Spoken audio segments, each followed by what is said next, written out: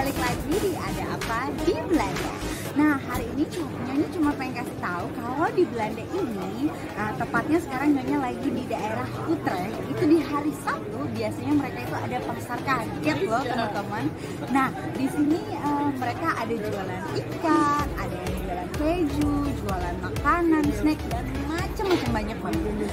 Uh, Menarik ya teman-teman sekarang uh, lagi di masa pandemi tapi mereka juga tetap harus selalu menjaga jarak. Nah, teman-teman kalau di tempatnya teman-teman biasanya pasar kaget itu ada di mana dan di hari apa sih?